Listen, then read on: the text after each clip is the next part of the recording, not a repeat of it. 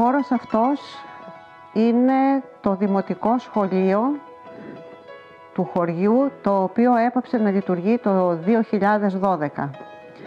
Έχει χτιστεί και αυτό, όπως και η Εκκλησία στα χρόνια της ε, τουρκοκρατίας, και για να σας ε, δώσω να το καταλάβετε τη λεπτομέρεια ότι ο παππούς μου, ο οποίος ε, είχε γεννηθεί το 1896,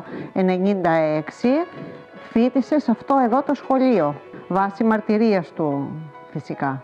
Αυτή τη στιγμή ε, έχει μετατραπεί σε μια λαογραφική συλλογή η οποία δεν έχει εγκαινιαστεί ακόμα. Μπορώ να πω ότι είστε και οι πρώτοι που μπαίνετε έτσι μέσα και παίρνετε πλάνα. Ε, ελπίζουμε ότι κάποια στιγμή θα ενδιαφερθεί κάποιος φορέας να ασχοληθεί με το αντικείμενο γιατί υπάρχουν ε, παλιά αντικείμενα τα οποία πρέπει να συντηρηθούν, πρέπει να καταγραφούν και πρέπει να δοθούν στη δημοσιότητα για να γίνει επισκέψιμο.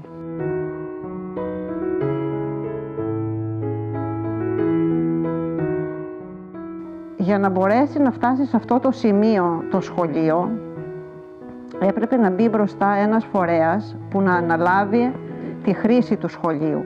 Ζητήσαμε από το Δημοτικό Συμβούλιο της, ε, του Δήμου Λέσβου τη χρήση του σαν σύλλογος, σαν πολιτιστικός σύλλογος γυναικών Πελόπης, ζητήσαμε τη χρήση του και το αναφέραμε ότι θα μετατρέψουμε σε λαογραφική συλλογή.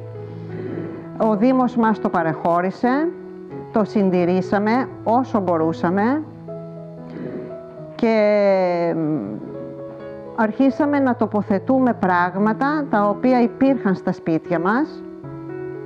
Εγώ προσωπικά όσα χρόνια και εγώ και ο μπαμπάς μου μαζεύαμε, γιατί πάντα μάζευα, πόσο θυμάμαι τον εαυτό μου από τότε που γεννήθηκα, ήταν το χαρακτηριστικό μου να μαζεύω οτιδήποτε παλιό. Το, τα συγκεντρώσαμε εδώ πέρα. Ο κόσμος στην αρχή ήταν διστακτικός.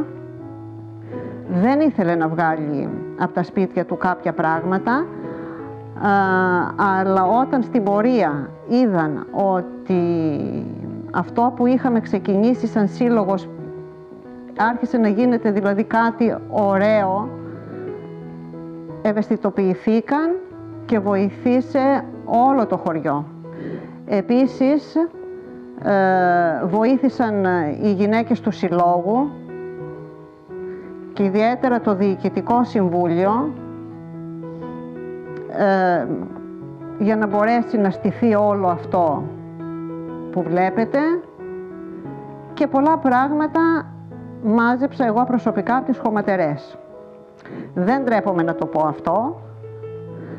Ε, έχω γυρίσει όλες τις χωματερές και τα έπιπλα που βλέπετε και πολλά αντικείμενα, τα περισσότερα δηλαδή, έχουν βρεθεί εδώ και χρόνια στις χωματερές και τα έχω συντηρήσει εγώ προσωπικά.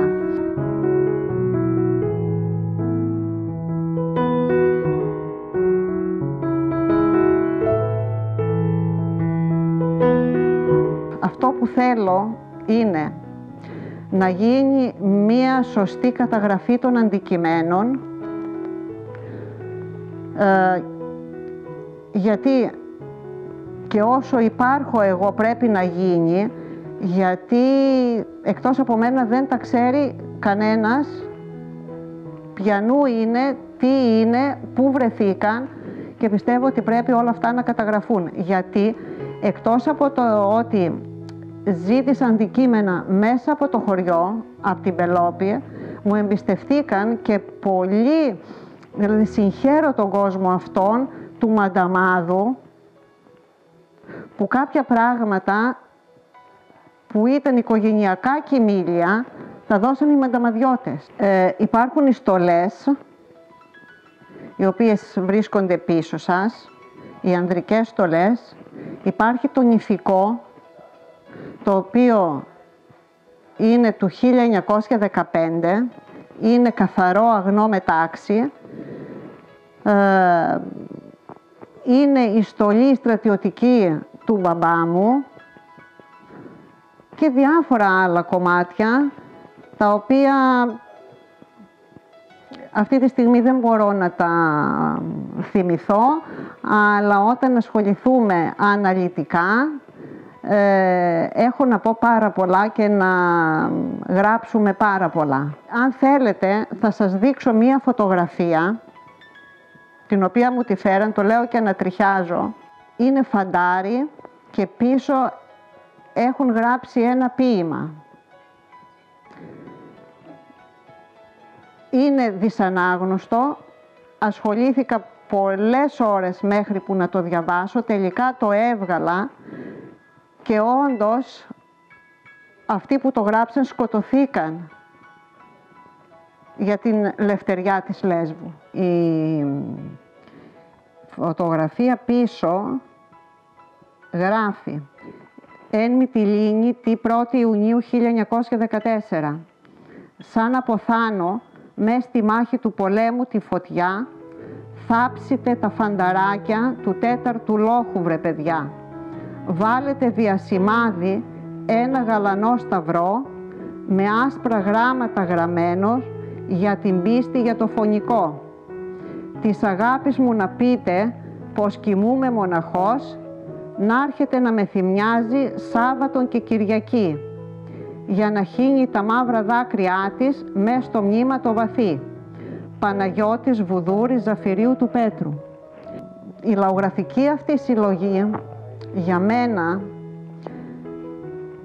ήταν κάτι το συγκινητικό γιατί έζησα όλους τους ανθρώπους του χωριού είτε τους ήξερα είτε δεν τους ε, ήξερα.